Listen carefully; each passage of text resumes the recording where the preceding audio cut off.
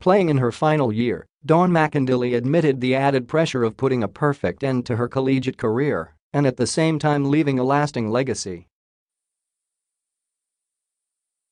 She did exactly that and much more. The diminutive and tireless libero not only won a third successive women's volleyball championship for the Lady Spikers, she also won the UAAP Season 80 Finals MVP award.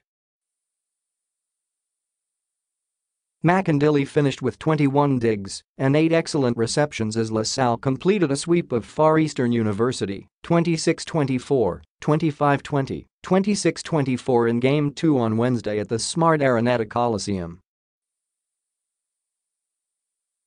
Daho last playing year ko na, mas malaki young pressure, admitted Macandili.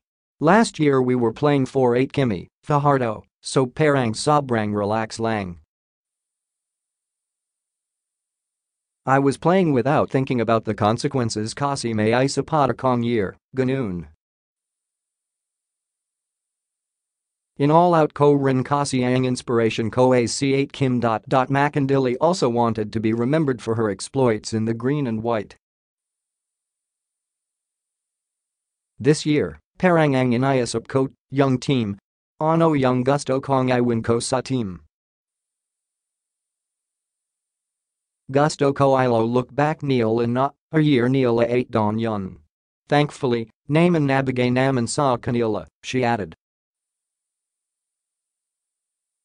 The La Salle Libero wasn't even expecting to win the finals MVP plum, especially being a non-scoring player.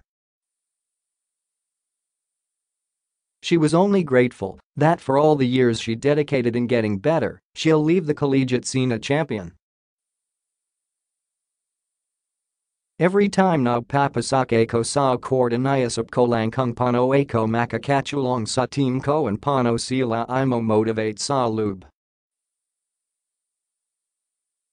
Siempre ang role ko is to keep the team going, Macandili continued. Tapos na ang career ko sa college and lahat ng pinagirapan talaga naman, boing bawi.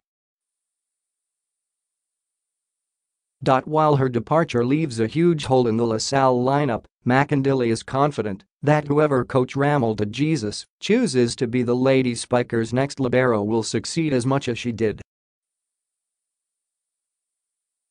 Tawala name an ACOSA program night coach Ramil and the way he assigns roles to the players not alam niya kunganong ginagawa niya, she said.